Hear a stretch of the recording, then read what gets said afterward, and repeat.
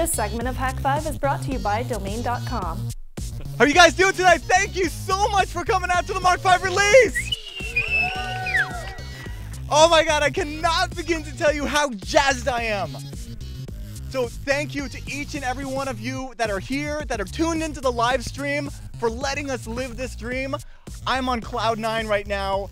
Um, so real quick before we get into it, I, I do want to put out a huge thanks to the awesome Hak5 team that has made this happen, as well as all of our spouses and significant others that have put up with us for the last six months. Yeah, it's, it's, So, so this guy, uh, uh, 80, you just saw him. He uh, he kind of taught us this thing at uh, I guess it was DerbyCon, and that is um, well, first you drink all the booze, and then you hack all the things. yeah, but So, in order to help you guys facilitating the drink all the booze thing, what we need are uh, three words. two, We say one. these words, two words. One. Okay, let's go with two. We say these two words we have to drink. Can I can I get a word? Anybody yell out a word?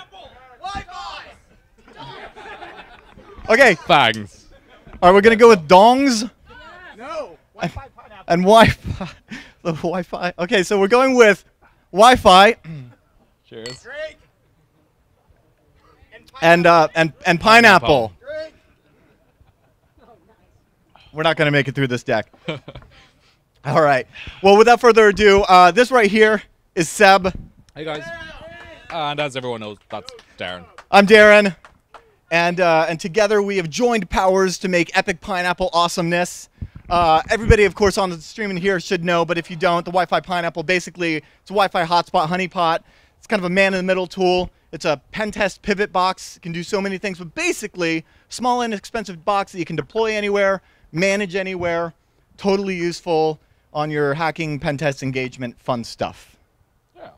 and uh, and our basically what we believe in our core values is that we want to make easy to use affordable and expandable hacker gear pen test gear hardware it's the physical manifestation of hacking you can just drop it anywhere and, and get your ownage on uh, and those are have been our core principles since the very beginning of this project of course today we're introducing the mark v and this is, of course, based on five years of feedback. In fact, just over a month ago, uh, September 7th, 2008, was the Pineapple's five year birthday. I know, the Mark I was born. In fact, hang on. Uh, oh, No, I won't. Wait, do I- oh, what? Oh man, we have we have boots now. Ah, das Boot. Well, there we go. Yes. Okay. Um, yeah, this guy. So this is the new pineapple. Yeah, so we, we, we thought of a new design, you know, that's, that's We think you guys are right. going to love it. It scrolls Oh, like yeah. butter. But in reality, I mean, as we've seen the landscape change over the last five years with this Epic tool, it really comes down to the current generation, the Mark IV, that totally changed everything because of the new intuitive user interface. We've got the modular infusions. I mean, Seb, Yeah. you freaking came in out of nowhere. uh, I guess out of Germany, and saved me from myself and my really bad PHP code, and kind of like blew it into orbit like C64. That's cool, yeah. Yeah, well, we, so we introduced the new web interface, and kind of, you know, one of the biggest, I think, uh, revolutions of the Pineapple was uh, having a modular kind of. I'm sorry, I'll talk to the mic more. Uh, so to have this modular interface, really. Drink. Oh God, sorry. All right, Prost. There we go. So the uh, Yeah. that is a boot, yeah. Um, so no, really, uh, the the whole one of the biggest things was the the modules that were introduced for the the Mark IV. Yes, And, Mark uh, Four. Fear, fear. Mark IV, yes, Fear. that's the one. Not not the that, Not the phumph. Not not the yeah. Um, no. So, so uh, uh, so we introduced these infusions or modules, and uh, that that really helped uh, get community involved in the development. And I guess we we got a lot of feedback from there. A lot of people just starting to you know code out things that we wouldn't you know weren't able to offer out of the box right before. Right. we- had no idea what was going to happen when we opened it up and threw in an API, and you know people started hacking at it, and it just got yeah. crazy. Well, so community development actually got expanded there. Uh, also, the fact that we have USB the first time on, in a device kind of allowed the possibility of a second Wi-Fi interface, uh, more storage, so therefore installing things, uh, extra programs, logging, and so on. So that's that's all great. So we got far with that. Yeah, and no, it introduced an amazingness is what it did, and like suddenly, you know, people are writing things like SSL strip and deauth attacks and beacon attacks. We got URL snarf Yeah. on there. Uh, man-in-the-middle injection tools. We've got uh, site surveys, TCP dump. I mean, you can even control your pineapple Over text, over message. text messages. Yeah, exactly. So is that two or one?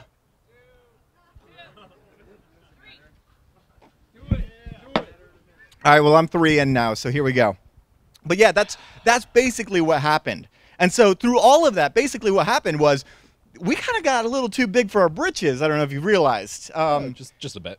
So we started looking at. I mean, as I mean, if naming it the Mark Two and Three, and just kind of like you know says, hey, we're gonna make new stuff all New the things time. are coming all the time. Yeah. Totally, totally. So this one we're launching today is going to be obsolete in six weeks, but it's cool. Get it anyway. Um, but so we started actually Wait, the Mark looking. 8's coming out coming out yeah, next, so next month. yeah, was it? Yeah. one. So we started looking at uh, some possible hardware opportunities, and honestly, there's nothing else out. There's nothing on the landscape right now that serves this really unique need of the hacker and the pen tester. And to be honest, this is all Seb's fault because had he not come in here and saved me from my horrible PHP code and enabled us to be able to do awesome things with that USB and to be able to do awesome things with that framework and those modular, uh, you know, the modular design and those uh, over-the-air updates and all that stuff, we wouldn't be having this conversation. No. So the conversation we did have was, well, hey, what if we could make our own? And really, so we did. We did.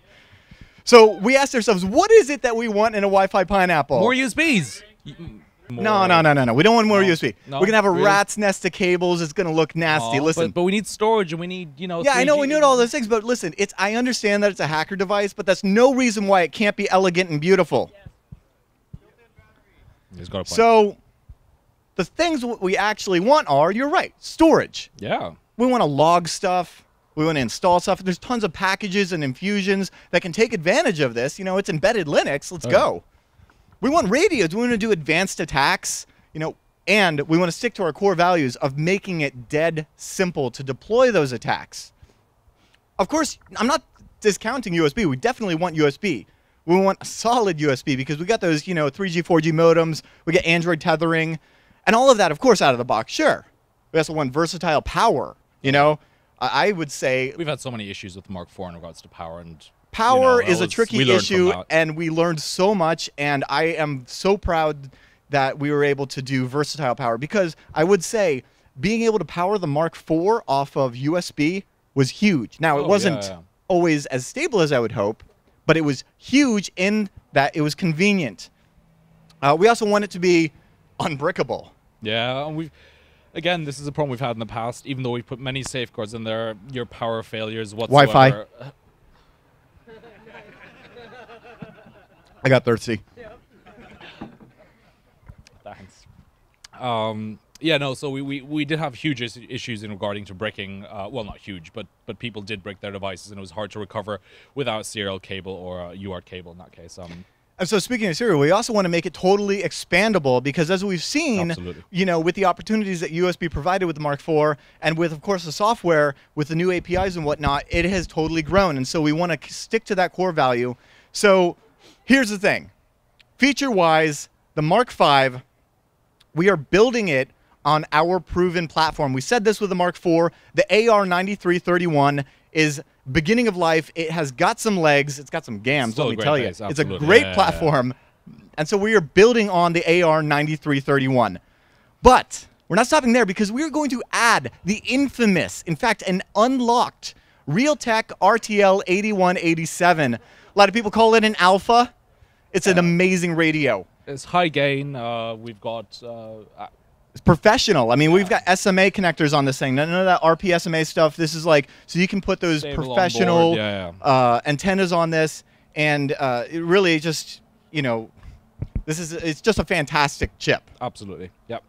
So we decided to go with those. And let me tell you, in fact, even beginning this whole adventure of custom hardware, there were some fun lessons to learn. We can talk about RF uh, diversity Putting and putting two of these devices on one board is a pain. the FCC had a lot of fun trying to figure out what to do with us, but we've got it, We- so we- are good. we're through, so yes, we the only ones in the world, by the way. Yeah. Yeah. Um, okay, so storage-wise, we absolutely want storage. Right. So, what's the easiest way to expand storage on a device? Uh, micro SD, maybe even. You know, onboard micro SD. Yeah, Yeah. and so we've actually included a two gig micro SD card with every Every pineapple. unit, yeah. And what this allows us to do. 80. I did not realize I would forget the word so quickly. I'm expecting Cause to run up here with the Red Bull and vodka any moment. All right, but uh, but yeah, adding uh, uh, having that uh, SD card shipped from us allows us to actually make sure that the hottest, the latest and greatest firmware, the freshest picked pineapple Absolutely. ships out the door. Damn it! I think I just, Can I can I just not because I remember the words. It's going to be a quiz later. Um, and so in that, we've uh, included the 2 gig, but we are expandable up to 32, and we're supporting FAT and EXT. This will allow you to uh, install tons of applications and even do tons of swap. Because sadly, a lot of you guys do use Windows, which scares me. But you know, if you want to, then go ahead. It's it's Adobe. I'm not even going to go down that rat hole. Oh, yeah. All right. So dead simple. Okay, that is a core pillar of ours. We've always wanted to make this super easy for anybody to pick up and use. You know, there's all of Sure. these awesome command line tools, but we don't want you to necessarily even have to drop into the command line. And so Seb has done an amazing job, and our community has done an amazing job of making these infusions that like take these complex tools and really simplify them in a web interface that anybody can, you know, just like, you know, click the button and it goes. But Yep. what's easier than clicking the button? Flipping the switch, right? So let's put some dip switches on it. And what we've done is introduced attack boot modes. Basically, we've got five dip switches on there. Three of them are user configurable and allow you to specify what it is that you want the pineapple to do. So you flip those switches. We're going to rename the product. So um, Let me tell you about the, The Wi-Fi coconut. Ah, did I say Wi-Fi? wireless coconut. So the um, 80, the IEEE 802.11 coconut now has dip switches where you can flip these to choose your attack mode. You turn it on. It we're calling it it does the thing. Yeah. So so our devices now do the thing. Also, props Uh, to Colleen. Yes. Thank Okay. Uh, the other things, like we mentioned, we're not getting rid of USB. We love USB. Um, and moreover, we love solid USB. And we will uh, will allude to, we'll talk about the live stream that we're doing next week uh, at the, uh, yeah, later. But basically, we'll get into the Q and A about this and get into the all the esoteric, gory details about the AR9331 and all of the fun Bugs USB stuff in there. But no, what we've done is we have solved a lot of these issues and made a very reliable USB stack. We've implemented it in such a way where I have 3G dongles running for days. Days. Yeah. Absolutely. Yeah. Yeah.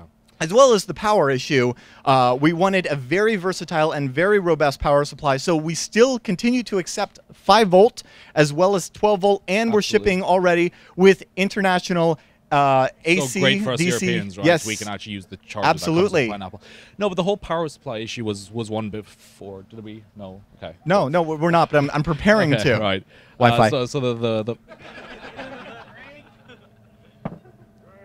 Oh, oh. so the In case Oh, you God. wanted something else. Oh, we- we- we love you, vodka Red Cos. Bull. Oh, yeah, yeah. Thank so, you. I hear it still gives me wings. Woo! No, so uh, so a lot of you guys watching the live stream probably here too. Uh, you guys have had issues powering multiple devices, you know, on um, on the Mark IV while plugging into your laptop or any other five volt power source over USB. Uh, we don't have that issue anymore with the onboard uh, Realtek and Atheros. They are not going to have the same issues. That's they don't go beautiful thing. down. They don't, Yes. you know, have have but they just they just do the thing. Put it on the board Yeah. already. Yes. We also wanted it to be unbrickable, and I think we did a Budding entrepreneurs, startups, and innovators are all turning their ideas into realities backed by the strength of a .NET domain. And you guys know .NETs are globally known. They're one of the most popular domain extensions online. They inject your business with instant credibility, and you can immediately discover the benefits of building your presence around a .NET domain. See, if you already have a .com, well, then you can get the corresponding .NET and protect your brand.